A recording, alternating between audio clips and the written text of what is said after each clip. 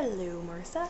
It is Friday, and I would like to let you know that on any normal given week, I do not film things in one going. I film it, and then I stop, and then another day I'll come back and film a little more, and that'll be it pretty much. And usually you can never tell.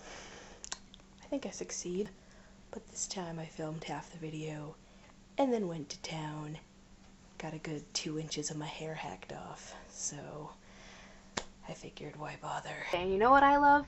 Paradoxes. And you want to know what's a paradox? Change is a constant.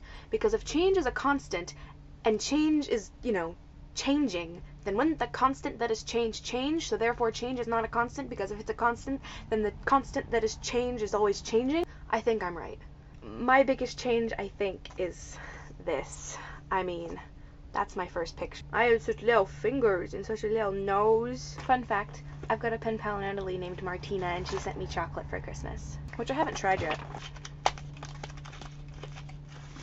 Oh, I don't know you. I'll eat the pink one. I don't like the color pink.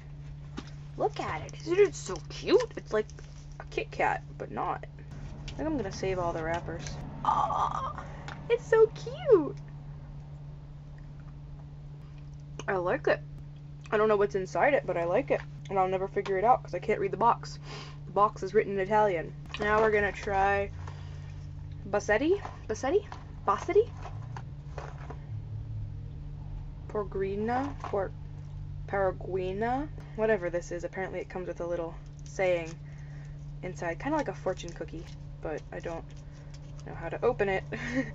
it's a piece of chocolate. Why can't I open it? Oh my god.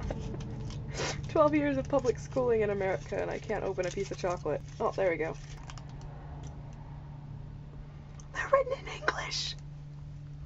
Well, they're also written in Italian, but today, take nothing for granted and you will enjoy good fortune. Okay.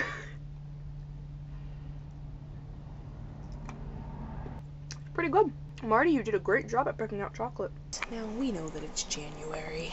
However, I was really excited, and so I asked my mom if I could dye Easter eggs.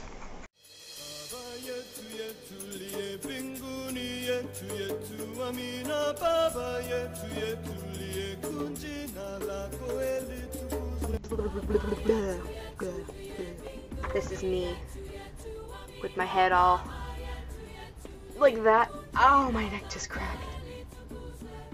Uh, and I got some pretty nifty striped pants. Oh, I'm wearing socks.